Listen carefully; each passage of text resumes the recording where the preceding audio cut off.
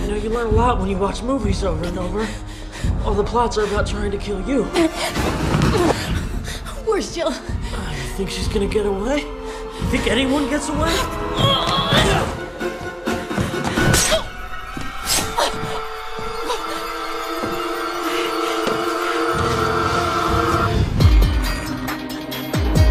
Hello, Sidney. Surprise. Part, my dear cousin, when the cameras turn off. Charlie? Already taken care of. And I got great footage of my Robbie kill. Better than Jenny, Marnie, or Olivia even. Good, we'll cut and upload it later. Make it all traceable to Trevor. Speaking of which... Mind you have anything? Please. Shut up! Everything I learned, I learned from you. You think you had a shitty boyfriend, Sidney? There's one that fucks you, dumps you, and doesn't even make you famous. Ah! The fuck, Jill? I loved you. Shut the fuck up already! Ah! Ah! I'm sure those cops want you to have this, Jill.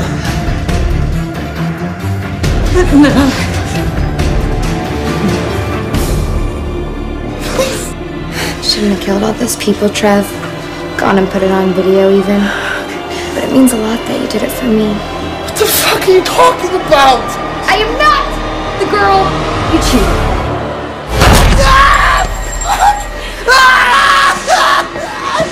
I've gone through everything. We're definitely good on timeline. Oh, yeah. No, no, no, please.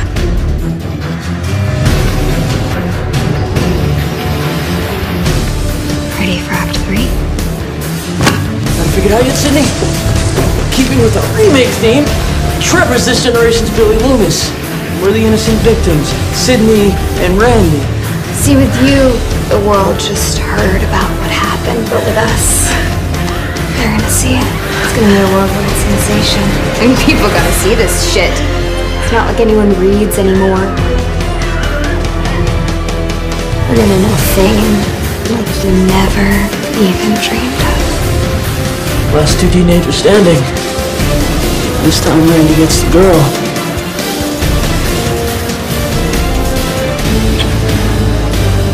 You're amazing. You're the perfect victim. I was so believable.